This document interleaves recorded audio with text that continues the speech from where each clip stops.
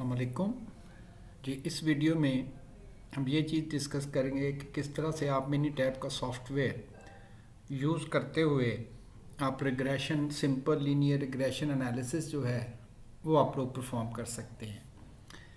जो data set हम class में डिस्कस कर रहे हैं, जिसमें स्ट्रेंथ और हार्डवुड कंसनट्रेशन का डेटा सेट है, जब आप मिनी टैब का सॉफ्टवेयर ओपन करते हैं तो उसमें आपको दो विंडोज़ मिलती हैं। इसको हम कहते हैं वर्कशीट विंडो यहाँ पर आप बेसिकली अपना डेटा इनपुट करेंगे। बिल्कुल एक्सेल की तरह की ये वर्कशीट है। और ऊपर जो विंडो है, अगर मैं इसको क्लिक करूँ तो देखेंगे आप इसका बॉर्डर डार्क हो जाएगा और सेशन विंडो और कर्सर यहाँ पर आपको ब्लिंक करती नज़र आएगी। इसका मतलब अब आपका कंट्रोल जो है वो सेशन विंडो में आ गया। वर्कशीट विंडो सबसे पहला काम तो होगा हमारा वर्कशीट में डेटा एंटर करना। ये जो C1, C2, C3, C4 ये कॉलम्स हैं। जैसे हम क्लासरूम में डेटा रखते हैं तो कहते हैं कि ये फ़र्स्ट कॉलम में एक्स का डेटा रखते हैं सेकंड कॉलम में वाई का। तो इसी तरह से ये कॉलम्स हैं और उनके नाम उन्होंने रखे हुए हैं। लेकिन जो फ़र्स्ट रो है देखिए साइड पे लेफ़्ट साइड पर इसके ऊपर कोई नंबर नहीं लगा हुआ। ये उन्होंने रखा हुआ है कि आप अगर यूज़र आप लोग यूज़र अगर कोई स्पेसिफिकली वेरिएबल्स का नाम खुद भी असाइन करना चाहते हैं ताकि बाद में हमें आइडेंटिफिकेशन हो सके तो आप खुद भी लिख सकते हो। तो मैं यहाँ पर चूँकि हमारे पास डेटा सेट है हार्डवुड का और स्ट्रेंथ का तो मैं यहाँ पर हार्डवुड लिख लेता हूँ। वो कुछ ज़रूरी नहीं है। आ, आप पहले जो सा मर्ज़ी वेरिएबल लिख लें बाद में जो सा मर्ज़ी वेरिएबल लिखते हैं तो इससे कोई कंसर्न नहीं है। हार्डवुड और स्ट्रेंथ मैंने ज़रा उसके साथ एक्स वाई भी लिख दिया ताकि हमें याद आ जाए कि ये एक्स है हमारे लिए और ये वाई इसके बाद आपने यहाँ पर डेटा एंटर कर देना। जैसे हार्डवुड की रीडिंग है टेन फिफ्टीन फिफ्टीन तो जिस तरह से एक्सेल में हम डेटा फ़ीड करते हैं तो मैंने यहाँ पर उसी तरह से डेटा सेट जो है वो फ़ीड कर दिया। अब देखिएगा, पहला जो स्टेप है, वो हमारा आइडेंटिफिकेशन कि या तो हमें ऑलरेडी अंडरलिंग थेरी से उसका पैटर्न पता होना चाहिए अदरवाइज़ हम स्कैटर प्लॉट की मदद से इनके दरमियान किस किस्म का रिलेशनशिप है तो आइडेंटिफाई कर सकते हैं। तो स्कैटर प्लॉट अवेलेबल है ग्राफ में। ग्राफ और पहली ही इंफॉर्मेशन जो आ रही है वो स्कैटर प्लॉट की आ रही है। अब इसमें मुख्तलिफ़ ऑप्शन हैं। आपने सबसे पहले जो ऑप्शन है सिंपल वो आपने सेलेक्ट करना है। देखिए, अगर मैं इसको क्लिक करता हूँ तो ये डार्क हो जाएगी, ये क्लिक करता हूँ तो ये डार्क हो जाएगी। लेकिन आपने सबसे पहली ऑप्शन क्लिक करनी है। ओके कर दें? वाई वेरिएबल इसीलिए मैंने कहा था कि आप इसके साथ लिख ले स्ट्रेंथ आप इसको एक दफ़ा क्लिक करेंगे, ये ब्लू हो जाएगा सेलेक्ट और नीचे से सेलेक्ट का बटन प्रेस करेंगे तो ये वाई वाले कॉलम में चले जाएगा। कर्सल देखिएगा, आपका ऑटोमेटिकली एक्स वेरिएबल वाले कॉलम में ब्लिंक कर रही है। हार्डवुड को रख के सेलेक्ट कर दीजिएगा, वो हार्डवुड वाले कॉलम में सेलेक्ट हो जाएगा। क्लियर एंड देन ओके कर देंगे। तो आपके पास एक स्कैटर प्लॉट जो है, वो कंस्ट्रक्ट हो जाएगा और यहाँ से आप इसे एक्सपेंड करके और बड़ी क्लियर पिक्चर इस स्कैटर प्लॉट की जो है, वो आप देख सकते हैं कि ये स्कैटर प्लॉट आपके पास आ गया। ठीक? और ये जो स्कैटर प्लॉट है, वो आपको इस चीज़ का आइडिया दे रहा है कि ये जो ग्राफ है, ये जो पैटर्न है, वो लीनियर लीनियर पैटर्न की तरह ये ग्राफ जो है वो आपको रिप्रेजेंट कर रहा है। तो लीनियर पैटर्न जो है वो ग्राफ का आपको इंडिकेट कर रहा है कि this is a linear pattern in the data set तो ये ज़रा ज़्यादा क्लियर हो गया। अच्छा इसका एक एडवांटेज ये भी है कि आप डायरेक्टली आपने जो भी ऑप्शन की हुई है, आप उसको वर्ड फ़ाइल में लिख सकते हैं। आप क्लिक करके ग्राफ सेलेक्ट हो गया है। इस पर राइट क्लिक करें तो ऑप्शन आ जाएगी।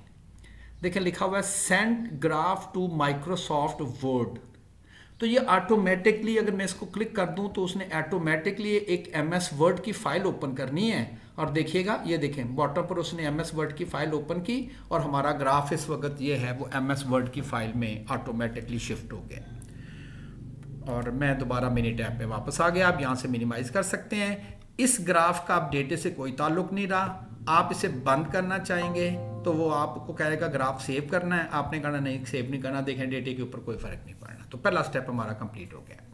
अब हमने डिसाइड कर लिया कि यहाँ पर simple linear regression line linear वो मोस्ट अप्रोप्रिएट टू फिट है।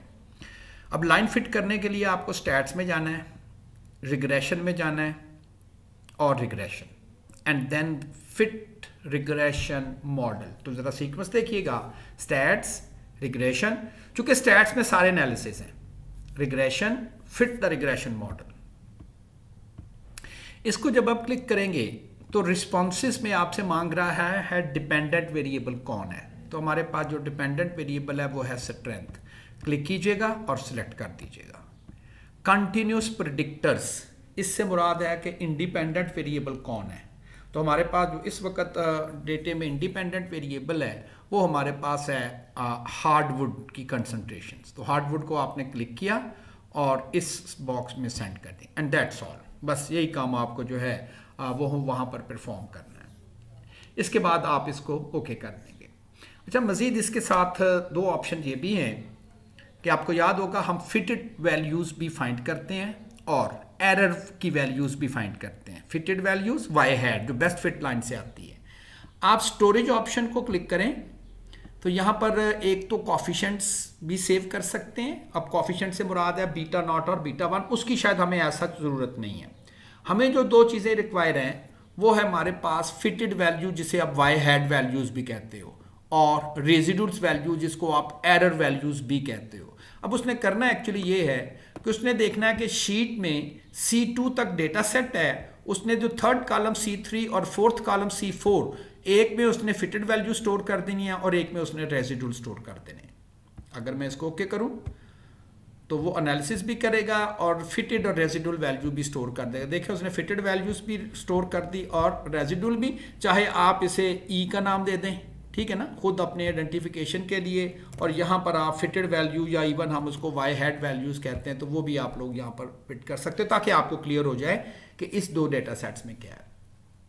अब जहाँ तक आउटपुट का ताल्लुक है। आ, ये देखिएगा ये बेस्ट फिट लाइन आपके पास फिट होके आ गई। ये हमारे पास बी नॉट है और ये हमारे पास जो है वो बी वन की वैल्यू है। अगर आप इसे सिलेक्ट करके राइट क्लिक करेंगे तो send selected line to Microsoft Word देखिए, वो ऑटोमेटिकली जो जो चीज़ हमें चाहिए, वो माइक्रोसॉफ्ट वर्ड में जाई जा रही है। देखें वो मैंने फिटेड लाइन भी भेज दी थी और वो माइक्रोसॉफ्ट वर्ड में जो है वो वो लाइन भी जो आके आके वहाँ पर जो है वो सारी की सारी जो है वो सेव हो गई है। ठीक है?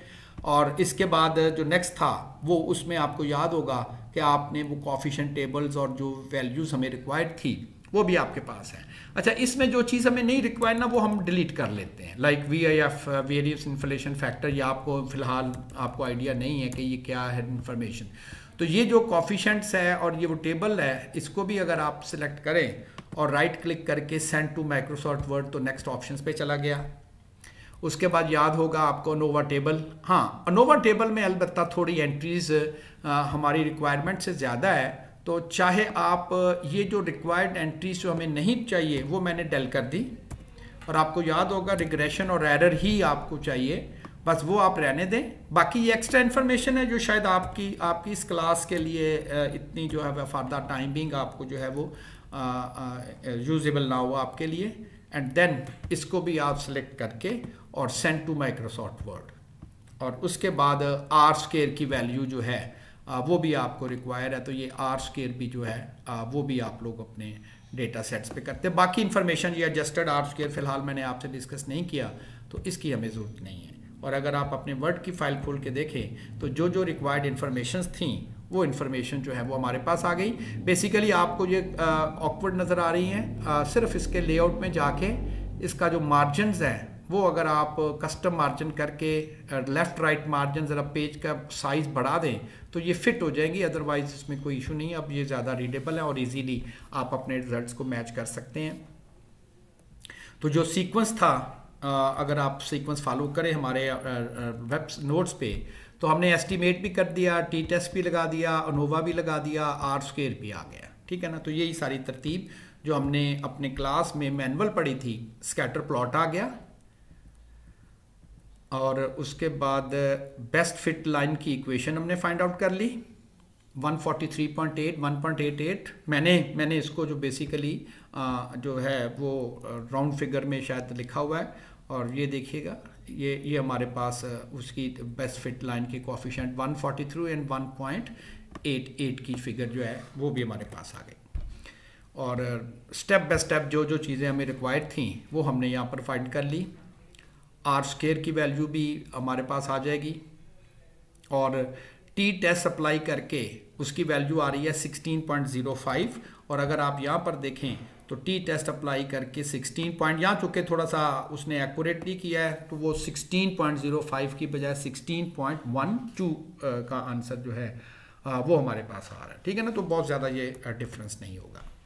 अच्छा इसके बाद हमने ये चीज़ डिस्कस की थी कि जी रिजिडुअल प्लॉट होना चाहिए, ताकि उसमें स्ट्रक्चर लेस होना चाहिए। एक्स एक्सिस पे फिटेड वैल्यूज़ और वाई एक्सिस पे रेजिडुअल अगेन हम स्कैटर प्लॉट ग्राफ में चले जाते हैं स्कैटर प्लॉट में चले जाते हैं सिंपल स्कैटर की बात करते हैं। इस वक्त ये जो पहला सेट है, इसे डेल कर दीजिएगा डिलीट का बटन प्रेस कीजिएगा, ये ख़त्म हो जाएगा।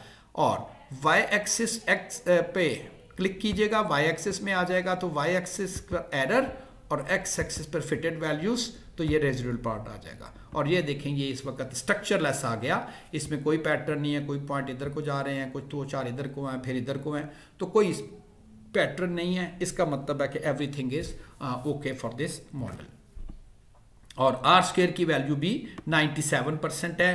That is seems to be a good fit model to our data set अच्छा जी, अब इसका काम यूटिलिटी का रह गया कि हम इसको अब यूज़ करके प्रडिक्शन के लिए इसे हम यूज़ करेंगे। अब अगर आप इसको प्रोडिक्शन के लिए यूज़ करें तो वहाँ पर मैंने कहा था कि आप इस y की वैल्यू को एस्टिमेट करें। अगर x की वैल्यू जो है वो 23 है तो 23 की जो अगर हार्डवुड कंसनट्रेशन होगी तो एक्सपेक्टेड स्ट्रेंथ जो है वो कितनी होगी, उसको हम एस्टिमेट कर सकते हैं। अब यहाँ पर मिनी टैप में चूँकि अब आपने प्रडिक्शन करनी है तो रिग्रेशन रिग्रेशन प्रिडिक्ट यहाँ पर ऑप्शन आ रही है प्रिडिक्ट ये आप एक्स की वैल्यू देंगे तो वो आपको वाई की वैल्यू प्रडिक्ट कर देगा। अब हम स्ट्रेंथ को प्रडिक्ट करना चाहेंगे, अगर हार्डवुड की वैल्यू जो है वो ट्वेंटी थ्री हो, ठीक? और ओके कर देंगे। तो उसने आपको एस्टिमेटेड वैल्यू जो है, ये दे दी 187.033 और राउंड अबाउट 187.04 तो वो भी प्रडिक्टेड वैल्यू भी आपने कैलकुलेट परफॉर्म कर ली। बाकी इन्फॉर्मेशन आपके लिए फ़िलहाल इस इस चीज़ पे जो है वो एक्स्ट्रा है।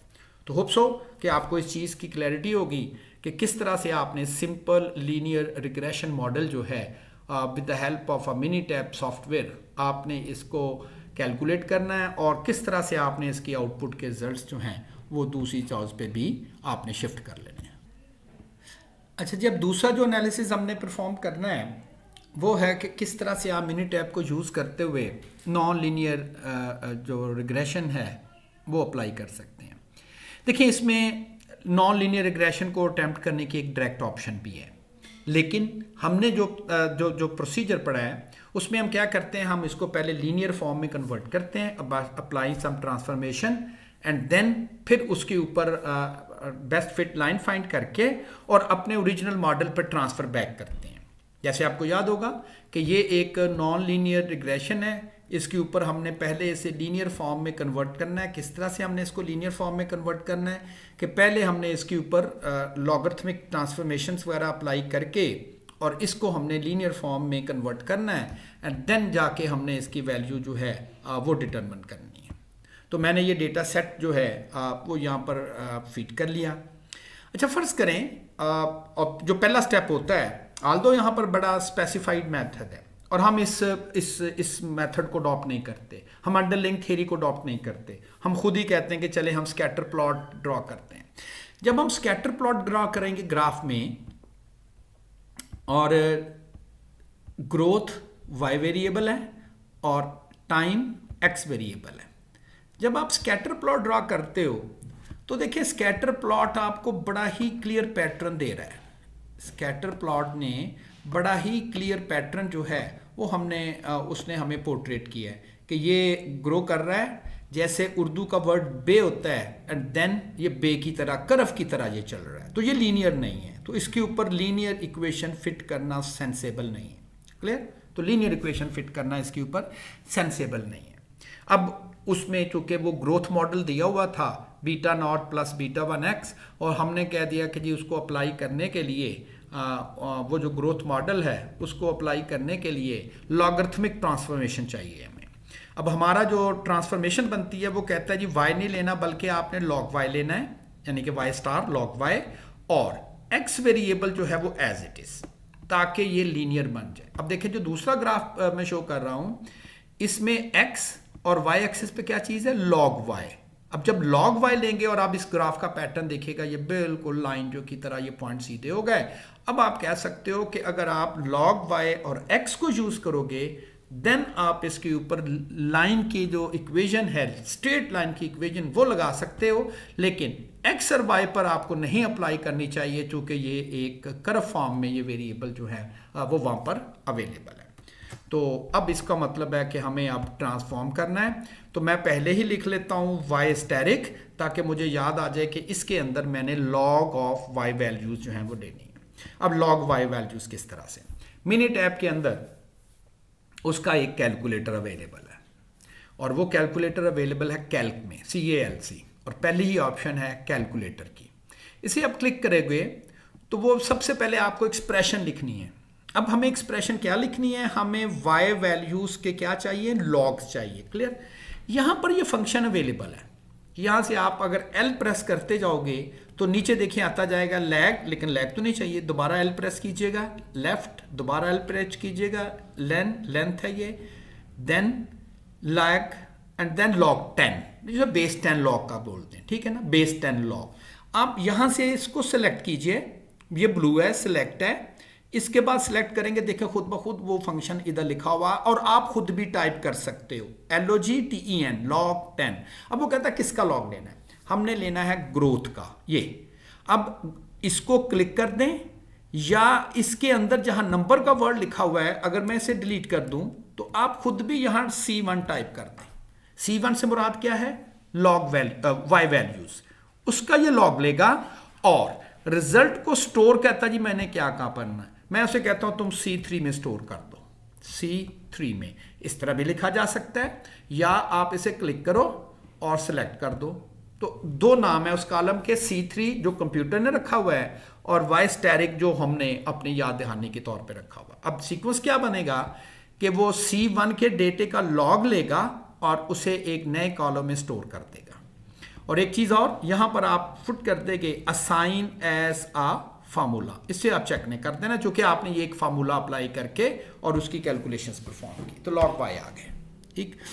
अब आपके पास देखने के लिए कि क्या एक्स और वाई स्टार जो कि बेसिकली लॉग वाई है क्या वाकई ही वो लीनियर फॉर्म में आ चुके हैं? मैं दोबारा स्कैटर प्लॉट करता हूँ graph scatter plot simple scatter अच्छा ये पहले ही आ रहा होगा। आप एक ही एक ही पैनल पे दो ग्राफ भी बना सकते हैं। मैंने अब दूसरा ग्राफ बनाया है लॉग ऑफ़ वाई वैल्यूज़ और एक्स वैल्यूज़ और मल्टीपल ग्राफ में जाके आप इसे कर दीजिएगा in separate panel of the same graph वो करेगा क्या?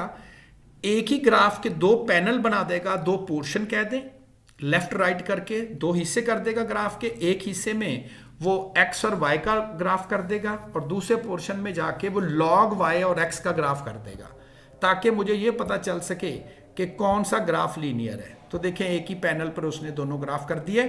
अगर मैं लेफ़्ट साइड का ग्राफ देखूँ तो वो एक्स और वाई का है, ये वाई है ग्रोथ एक्स एक्सिस पर एक्स है और जो पॉइंट देखें कर फॉर्म में तो इधर लीनियर नहीं होना चाहिए था, ठीक? इधर लीनियर नहीं होना चाहिए।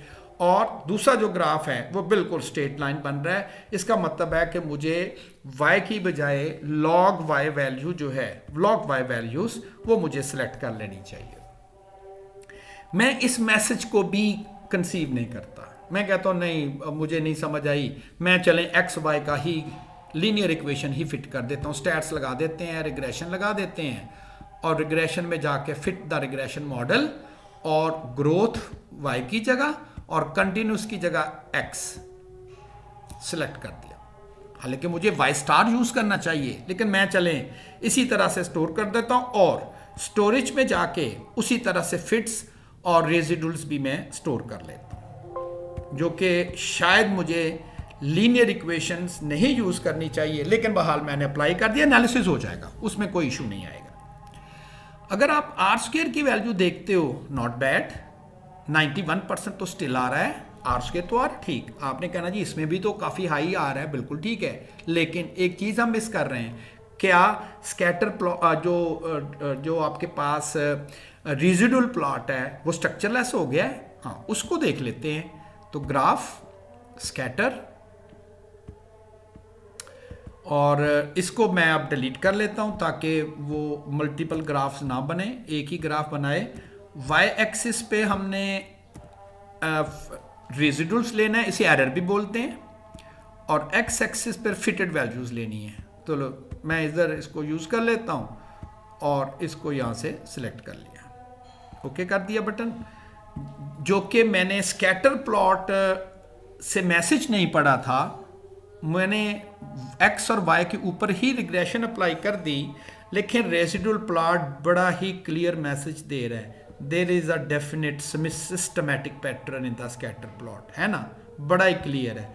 शायद स्कैटर प्लॉट इतना बेहतर मैसेज नहीं दे रहा था जितना आपको अब इस वक्त इस स्क्रीन पे नज़र आ रहा है कि रेजिडुअल प्लॉट में तो बड़ा ही क्लियर एक पैटर्न है, एक बड़ा ही क्लियर स्ट्रक्चर है, जो ये चीज़ इंडिकेट कर रहा है कि यहाँ पर एक्स और वाई के दरमियान लीनियर रिग्रेशन नहीं अप्लाई करनी चाहिए आपको। तो नहीं हमें करनी चाहिए। हमें टेक्निकली क्या करना चाहिए था?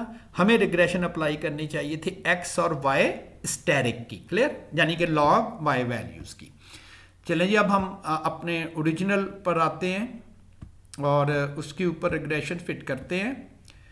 वाई की बजाय अब हमें वाई स्टार यूज़ करना है और एक्स दैट्स ओके और स्टोरेज में जाके मैं फिट्स और रेजिडुल अब ये वो वाले फिट्स और रेजिडुल आएँगे जो x और y लॉग y की रिग्रेशन से आएँगे क्लियर और वो क्या करता है? आखिरी कॉलम के आगे ही प्लेस कर देता है। ये देखो, उसने दूसरे, इसने टू टू के साथ लिख के और ये कह दिया। अब ये जो रेजिडुअल फिट्स हैं, ये लीनियर के एक्स वाई रिग्रेशन के हैं और ये जो है वो एक्स और लॉग वाई रिग्रेशन के हैं। अब जाके अगर हम आर स्केयर की वैल्यू देखते हैं तो आर स्केयर की वैल्यू मच इम्प्रूव फॉर्म में आ गई। 99.97 परसेंट जो कि पहले कितनी थी नॉट बैड लेकिन वहाँ स्ट्रक्चर वाला प्लॉट आ रहा था। अब जाके देखते हैं कि रेजिडुअल प्लॉट की क्या सिचुएशन बनती है। सिंपल स्कैटर ले लेते हैं, चलें। हम पहले वाला भी रहने देते हैं, जो कि ये वाला था, और ये टाइप ठीक नहीं था, और दूसरा भी हम कर लेते हैं। रेजिडुअल टू वाई एक्सिस पे कर देते हैं, और फिट्स टू जो एक्स और वाई स्टार के डॉग के आए थे। और मल्टीपल ग्राफ में उसी तरह से separate panel on the same graph होगा, ताकि आपको पता चले कहाँ स्ट्रक्चर रहेगा और स्ट्रक्चर लेस हो गया। अब यहाँ पर अगर आप नोट करें, जो सेकंड ग्राफ है, एक पॉइंट इधर आ रहा है, एक ऐसे चल रहे हैं और फिर पॉइंट इस तरह से चलने स्टार्ट हो गए। ऐसे ही है ना? ऐसे चलने स्टार्ट हो गए पॉइंट ऊपर की तरफ़। यहाँ से ऊपर की तरफ़, ये इधर और एक पॉइंट उधर। इसका मतलब इसमें कोई ऐसा आपको क्लियर कट पैटर्न नहीं आ रहा बल्कि ये जो प्लॉट्स हैं ये इस वक्त जो है आ, वो एक रैंडम रैंडम पैटर्न पे जो है वो चले गए। जबकि यहाँ पर देखिएगा पॉइंट डिक्लाइन हो रहे हैं एंड आफ्टर स्पेसिफिक पॉइंट उनमें इंक्रीमेंट आ रही है इंक्लाइन कर रहे हैं। तो इसका मतलब है कि अब आपके पास जो सेकंड मॉडल है जिसमें आपने लॉग लेके ट्रांसफॉर्म किया था that is the most appropriate model लेकिन इसमें एक प्रॉब्लम क्या आ रही है? अभी ये ये ये जो आपने वैल्यूज़ फाइंड की हैं, अगर आप इसको अपने ओरिजिनल नोट से मैच करें तो ये जो वैल्यूज़ हैं इस वक्त, वो आपने लॉग लॉग बी नॉट की वैल्यू फाइंड की है। लॉग बी वन की वैल्यू फाइंड की है। लॉग बी नॉट और लॉग बी वन ये देखिएगा। ये लॉग बी नॉट है बी नॉट नहीं है और ये लॉग बी वन है। अब हमें इनसे इनके एक्चुअली एंटी एंटी लॉग्स जो हैं वो अगर हम इसके कैलकुलेट करते हैं एंटी लॉग तो देन हम वैल्यू सारी की सारी जो है आ, वो रिवर्स कर सकते हैं। अब इसके लिए अगर आपको करना ये था कि आ, उसी तरह से उसी पैटर्न पे जाते और स्टोरेज में जाके आप कॉफिशेंट भी स्टोर करवा लें। वो कॉफिशेंट भी एक कॉलम में स्टोर कर देगा। ये देखेगा उसने कॉफिशेंट कॉलम भी स्टोर कर दिया। अच्छा जितनी दफ़ा आप रन करोगे, उतनी ही दफ़ा वो रेजिडुअल और फिटेड वैल्यू जो है, वो बैक पे कैलकुलेट करता जाएगा। जितनी दफ़ा आप इस इस प्रोसीजर को रन करोगे, और अदरवाइज़ अदरवाइज़ आपको चाहिए कि अगर आपको किसी एक चीज़ की ज़रूरत है तो बाकी चीज़ें, बाकी ऑप्शन जो है, वो ऑफ़ कर दीजिएगा। लाइक स्टोरेज में चले जाइएगा और आप कहेंगे फिट और रेजिडुअल्स बार बार नहीं करने मैं अगर मैं अगर इसको सबको डिलीट कर लूँ ताकि शीट में, क्योंकि जितनी दफ़ा भी आप करेंगे, उतनी ही दफ़ा उसने एक्स्ट्रा कैलकुलेशन हर दफ़ा करनी है। स्टैट्स ये आप पहले से ही डिसाइड कर लिया कि आपको कॉफिशेंट भी चाहिए। तो आपको कॉफिशेंट कैलकुलेट करने के लिए स्टोरेज में जाना है और इस दफ़ा फ़र्ज़ करें फिट्स और रेजिड्यूल और कॉफिशेंट ये तीन चीज़ें चाहिए। जो चीज़ नहीं चाहिए, वो ऑफ़ कर दीजिएगा। और यहाँ पर आप करेंगे तो वो तीन चीज़ें आपकी कैलकुलेशन और ये वही कॉफिशेंट हैं, यानी कि ये बी नॉट है और ये वाला कॉफिशेंट जो है वो बी वन के तौर पर आपके पास आ गया। अब आपको इसके ना एंटी लॉग चाहिए। याद है ना? हमें इसके लॉग रिक्वायर नहीं है, बल्कि हमको इसके एंटी लॉग्स रिक्वायर हैं। इसका भी एंटी लॉग चाहिए 1.51 का भी एंटी लॉग चाहिए और 0.154 का भी चाहिए। तो 1.51 फाउंड फिगर में और 0.54 का भी एंटी लॉग चाहिए। दोबारा आप कैलकुलेटर पे चले जाए। कैलकुलेटर। यहाँ पर अब आप, कॉफिशेंट जो हैं, वो आपके सी सिक्स कॉलम में देखें, स्टोर हैं सी सिक्स में। ये सी सिक्स कॉलम में। अब यहाँ पर एंटी लॉग आपको नहीं मिलेगा। एक्चुअली जो लॉग होता है ना, जिसे बेस टेन कहते हैं, मैं उस उस डिटेल में नहीं जा रहा कि लॉग क्या चीज़ है। एंटी लॉग का मतलब होता है कि अगर आपने जिस चीज़ का एंटी लॉग लिखना हो उसको टेन की पावर में लिख दिया जाए तो उस नंबर का एंटी लॉग आ जाता है। टेन की पावर में जो नंबर भी लिखेंगे एक्चुअली उसका एंटी लॉग आ जाएगा। आप समझ लें टेन और ये पावर बटन है हेड दिस वन ये। ये समझ लें, मैंने एंटी लॉग लिखा हुआ है। फिर आप ब्रैकेट लगा लें और इसमें आप सी सिक्स लिख दें। तो समझें कि ये वर्ड आपने ना यहाँ तक एंटी लॉक का वर्ड लिखा हुआ है। एक्चुअली जैसे लॉक बेस टेन का वर्ड है ना वहाँ पर, वो नहीं मैं आपको एक्सप्लेन कर रहा कि बेस टेन से क्या मुराद है। इसी बेस टेन की वजह से ही एंटी लॉग एक्चुअली इस तरह से आ रहा है। और इसका जो रिज़ल्ट है, वो सी सेवन कॉलम में आप स्टोर करवा दें। Sorry C seven C seven column में आपने इसके रिज़ल्ट स्टोर करवा देने। देखें अब ये आपके पास बी नॉट आ गया। ओरिजिनल फॉर्म में thirty two point one four six nine और हमारा क्या था? ये चूँकि मैंने यहाँ पर सिर्फ़ 1.51 को यूज़ किया था और उसने यहाँ पर 1.50714 को यूज़ किया ऐसे ही है ना? और देन वो वैल्यू जो है वो डिटरमन हो गई। और जो दूसरी वैल्यू है, वो 1.43 है। और यहाँ पर भी अगर आप इसे राउंड कर लें तो 1.42 की बजाय 7 की बजाय यहाँ पर 3 तो ये हमारे पास अब ओरिजिनल फॉर्म में ये वैल्यूज़ आ गई। मैंने स्टेप बाय स्टेप वो जो वैल्यूज़ थी वो हमने इसको डिटर्मन कर ली। स्टेप बाय स्टेप हमने इस, इस, इसकी वैल्यू जो है वो डिटर्मन की। अब आपने फ़र्ज़ करें ये ये वाली प्रोडिक्शन करनी है तो आपको क्या करेंगे? बी नॉट बी वन और एक्स दोबारा आप कैलकुलेटर ओपन कर लें। Thirty two point three six, मैं ये यूज़ कर रहा हूँ ताकि आंसर्स मैच करने। Thirty two point three six multiply with one point four three और पावर सेवन क्योंकि हमने सेवन आवर्स की प्रोडिक्शन इसके ऊपर करनी है। अब आप डायरेक्ट प्रोडिक्शन इसलिए नहीं कर सकते कि आपने लॉग फॉर्म में मॉडल लिया है और उसे रिटर्न बैक करके अपने ओरिजिनल मॉडल में उसे कन्वर्ट किया है। Thirty two point three six. तो दोबारा हम कैलकुलेटर्स पे जाएँगे। यहाँ पर हमें कैलकुलेटर करनी है। 32.36 मल्टीप्लाई विथ 1.43 और पावर 7 और इस रिज़ल्ट को आप किसी भी कांस्टेंट में स्टोर कर सकते हैं। अब कांस्टेंट क्योंकि सिंगल नंबर आंसर आएगा ना। आप यहाँ पर ना के के साथ कुछ भी नंबर लिख दें। के वन ये मिनी टैप को पता है। वो क्या करेगा? इसकी कैलकुलेशन करेगा और आंसर को के वन में उसने स्टोर कर देना। ओके कर दी कैलकुलेशन प्रडिक्शन की। स्टोर कर दी उसने के वन में। अब उसको देखना कैसे है? आप जाएँगे डेटा डिस्प्ले डेटा और देखें उसने के वन में ये चीज़ें, जिस जिसमें चीज़ें स्टोर की थी, सारी लिस्ट आ रही है और आप यहाँ पर सेलेक्ट करके कह दें कि मुझे के वन की रीडिंग दिखाए। 395.7 समथिंग 395.70 राउंड फिगर किया तो वो आंसर उसने आपके लिए जो है वो जनरेट कर दिया। मस्ट के के के अलावा कोई और लिखेंगे ना? बी सी डी एफ़ तो वो नहीं स्टोर करेगा। के और उसके साथ कोई नंबर लगा दे। के वन के टू के थ्री के four there are so many तो इस तरह से आप मल्टीपल uh, uh, जो नॉन लीनियर रिग्रेशन है उसको जो जो स्टेप के साथ आपको ट्रांसफॉर्म करना पड़ा आपने उसे ट्रांसफॉर्म किया स्कैटर प्लॉट देखे और देन आपने डिसाइड कर लिया कि हाँ इसके ऊपर जो है, वो नॉन लीनियर रिग्रेशन लगनी चाहिए तो आपने उसे ट्रांसफ़र बैक करके और उसकी सारी की सारी वैल्यू जो है वो डिटर्मन कर ली जी, अब जो दूसरी नॉन लीनियर रिग्रेशन थी मैकेलस मेंटन इक्वेशन उसको हम किस तरह से इसके ऊपर इम्प्लीमेंट कर सकते हैं? ये वो डेटा सेट है जो हमने क्लास में डिस्कस किया है। या आपने पीडीएफ लेक्चर्स पे देखा। सी फॉर द कंसंट्रेशन जो इक्वेशन की राइट साइड पर वेरिएबल आ रहा है, वो इंडिपेंडेंट है, इसको हम एक्स एक्स के तौर पे याद कर सकेंगे। और जो डिपेंडेंट वेरिएबल है, जो इक्वेशन की लेफ़्ट साइड पर आ रहा है, उसे हम वाई वेरिएबल के तौर पे जो है वो याद रखेंगे। अब मैंने मिनी टैप में ये डेटा सेट जो है, वो ऑलरेडी फ़ीड कर लिया है एक्स का, जिसको सी मैंने साथ एक्स लगा दिया, ताकि हमें याद रहे, ये एक्स है, ये इंडिपेंडेंट है, ये एक्स एक्सिस पर आना है, और ये डिपेंडेंट है, ये वाई एक्सिस पर आना अगर तो बड़ा क्लियरली उसने यहाँ पर मेंशन किया हुआ है कि ये वाली इक्वेशन यूज़ करनी है इसकी एस्टिमेशन के लिए जो कि एक नॉन लीनियर इक्वेशन है। इसको ट्रांसफॉर्म करके हमें लीनियर इक्वेशन में बदलना है।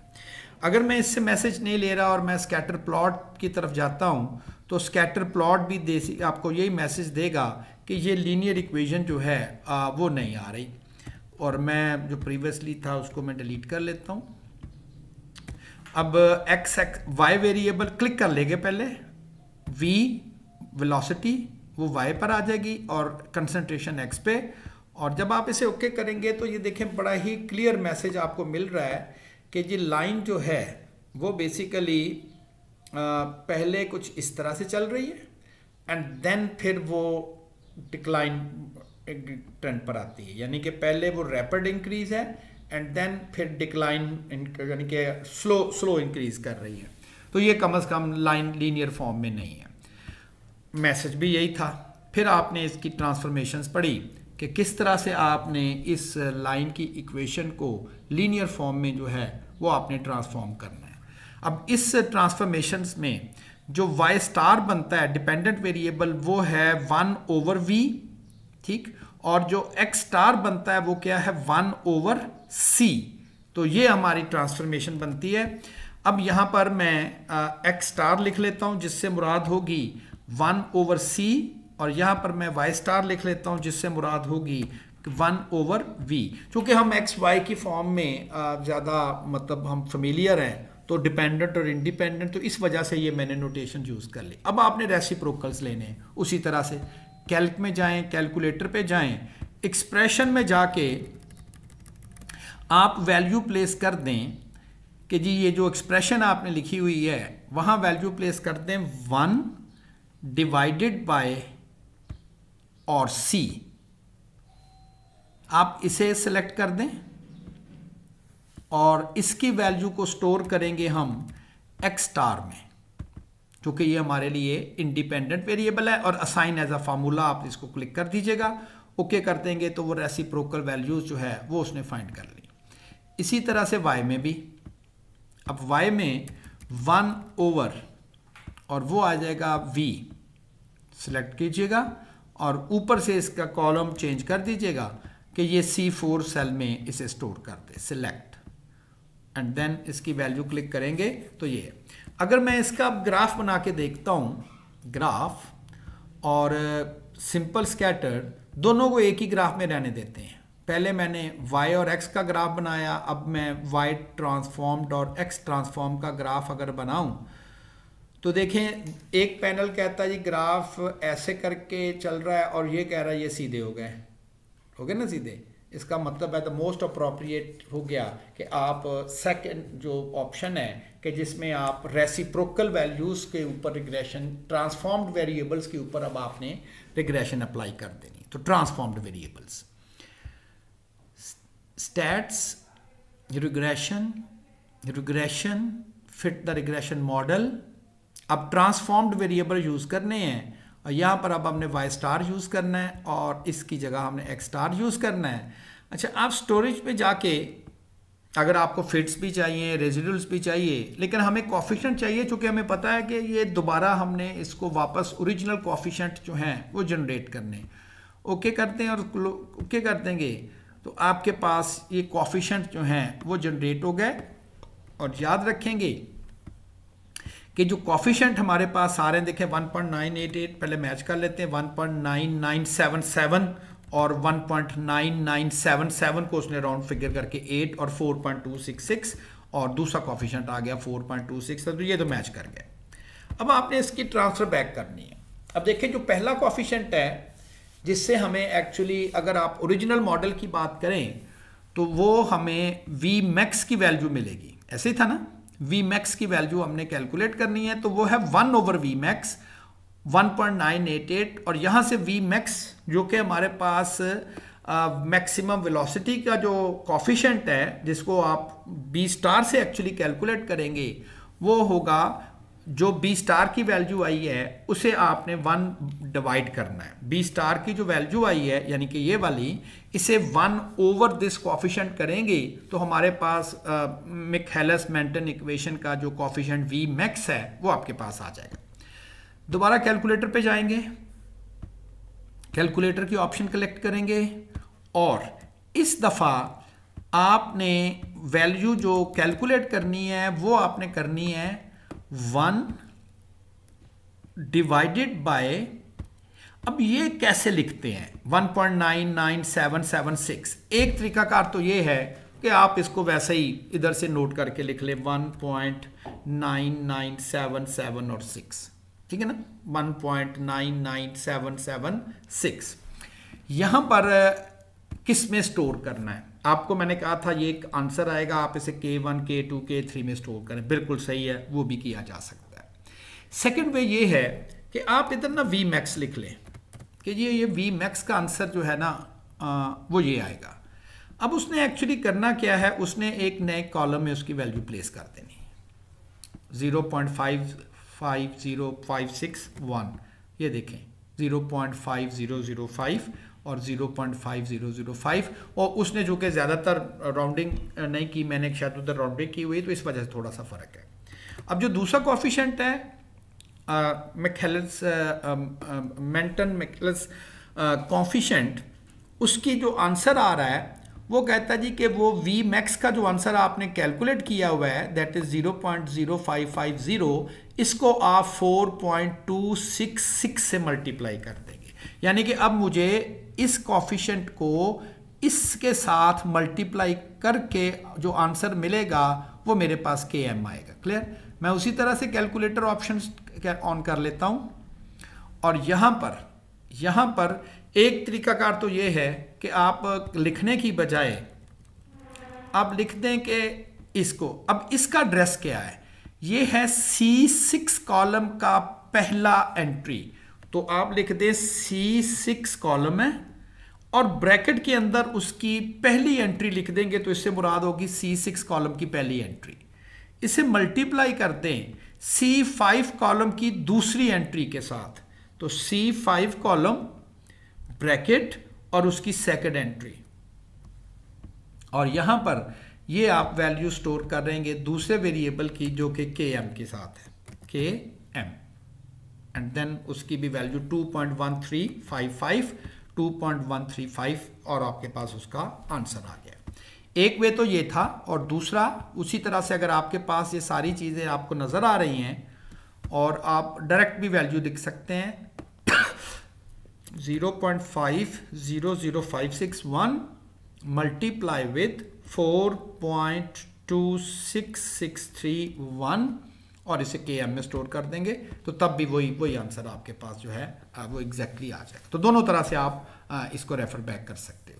एंड देन अब आपके पास वी मैक्स और के एम की वैल्यू आ गई तो वी मैक्स और के एम की वैल्यू आ गई, और आपने मैकेलस मेंटन इक्वेशन जो है, जो कि एक नॉन लीनियर थी, उसे ट्रांसफॉर्म किया लीनियर फॉर्म में लीनियर फॉर्म में करके आपने उसकी वैल्यूज़ को डिटरमिन किया एंड देन आपने उसकी वैल्यू जो है वो डिटरमिन कर ली। और आप देखेंगे भी कि जो रेजिडुअल प्लॉट है, वो पॉइंट कुछ इस तरह से चल रहे हैं, और फिर कुछ ऐसे चलना स्टार्ट हो गए। तो इसका मतलब है कि वे एक स्ट्रक्चरलेस आउट हो गया और आपने इसकी इक्वेशन जो है वो सही फिट की। और अगर आप आर स्केयर की वैल्यू भी कैलकुलेट करते हो तो देखें 99.287 जो है वो इसकी वैल्यू आ गई। तो होप सो अब आपको इस चीज़ का आइडिया होगा कि किस तरह से आपने मिनी टैब यूज़ करते हुए सिंपल लीनियर रिग्रेशन और नॉन लीनियर रिग्रेशन को ट्रांसफॉर्म करके और आपने अपनी कैलकुलेशन जो है वो आपने परफॉर्म कर लेनी है। Thank you very much